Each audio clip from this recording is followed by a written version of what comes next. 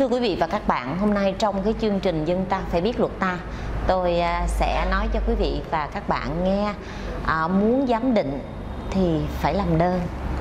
À, thưa quý vị và các bạn, thì à, thực tế thì trong những cái yêu cầu mà mình không thể làm được à, ví dụ như trong trường hợp mình đi khởi kiện ở tòa án thì mình có những cái chứng cứ như là có thể rằng là bây giờ những cái giấy tờ à, mà mình có được trong tay à, chứng minh nhân dân hộ khẩu giấy khai sinh chẳng hạn. À, còn nếu như trong trường hợp chúng ta không cái những cái chứng cứ đó chúng ta không có đủ cái chuyên môn đủ cái bằng chứng. À, chúng ta nghi ngờ rằng cái chứng từ đó giả mạo thì chúng ta sẽ à, có đơn yêu cầu. Thì à, thưa quý vị và các bạn đây tôi à, có làm một cái đơn yêu cầu. Đây quý vị và các bạn tôi làm một cái đơn yêu cầu à, giám định chữ ký chữ viết và dấu vân tay. À, tôi kể cho các bạn nghe một cái câu chuyện là như thế này. Thì à, trong à, cái việc mà vị khách hàng của tôi bảo rằng là à, ông ủy quyền cho một người à, A đi. À, thì khi ủy quyền thì anh nhớ rằng là anh chỉ có ủy quyền có một cái nội dung là sang tên đăng bộ. À, tuy nhiên không hiểu vì lý do nào đó trong cái nội dung ủy quyền lại có ghi thêm cái nội dung thứ hai.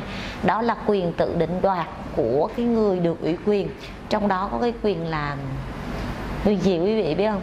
Mua bán tặng cho, cầm cố, thế chấp và tất cả những cái quyền theo quy định của pháp luật về đất động sản.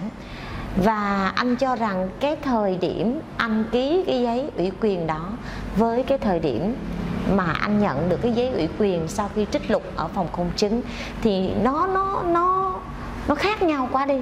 Và bây giờ anh đã nộp đơn ở khởi kiện ở tòa nhưng mà quý vị và các bạn biết rồi trong bất kỳ những trường hợp nào nếu cần một cái cơ quan giám định thì chúng ta phải làm đơn yêu cầu.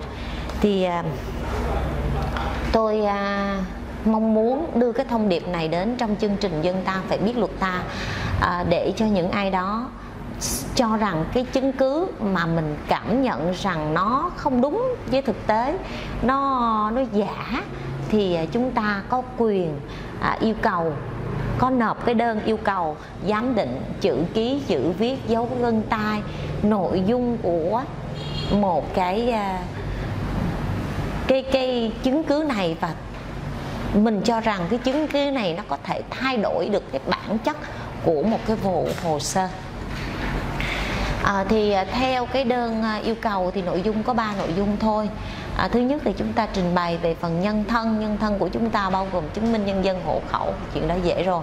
Thứ hai là chúng ta sẽ nói rằng là tôi có một cái đơn khởi kiện tại tòa án và đơn trong đơn khởi kiện này thì tôi cũng cho rằng là tôi yêu cầu hủy hợp đồng ủy quyền vì với lý do à, ABCD gì đó.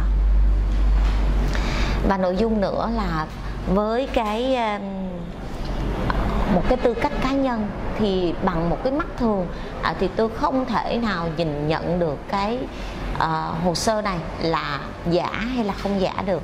Thì à, kính mong tòa nhờ cái cơ quan chuyên môn để mà thẩm định cái giá trị thẩm định cái giá trị cái nội dung của cái chữ ký nè cái chữ viết nè cái dấu lăn tay có phải là của người này hay không?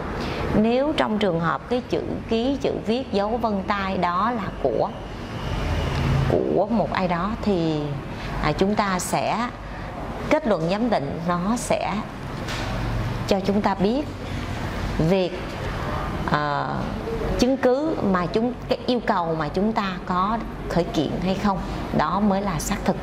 À, thưa quý vị và các bạn để kết một cái câu chuyện này thì à, các bạn nhớ không? Hồi xưa cái um, luật uh, bộ luật dân sự năm 2005 á, thì thời hiệu uh, cho việc khởi kiện một cái vụ án dân sự là 10 năm.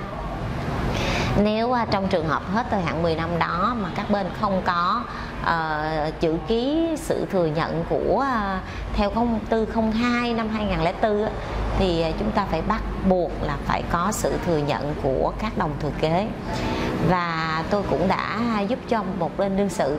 Khi mà ông ký rồi thì ông bảo là tôi chưa có ký và sau khi giám định cái người mà quản lý di sản thì chính xác là người quản lý di sản đó chính là người ký ra cái văn bản này. Thì tòa đã tiến hành chia. À, tuy nhiên thì cũng rất là may mắn trong cái quá trình à, tòa án à, thụ lý giải quyết thì các bên đã gặp nhau bằng một cái quyết định. À, thôi thì à, tài sản của ba mẹ để lại mỗi người được hưởng theo cái sự thỏa thuận nhất định. Dĩ nhiên cái phía của vị à, khách hàng của tôi cái người quản lý sử dụng sẽ được phần nhiều hơn. À, đây là những cái video mang tính chất hướng dẫn cho quý vị và các bạn. À, hy vọng rằng cái chương trình dân ta phải biết luật ta sẽ lan tỏa hơn nữa. Nếu quý vị và các bạn có những cái câu hỏi liên quan thì hãy um, gửi qua đường link để chúng tôi sẽ mã hóa và gửi đến tặng lại các bạn độc giả của chương trình. Xin trân trọng cảm ơn. Música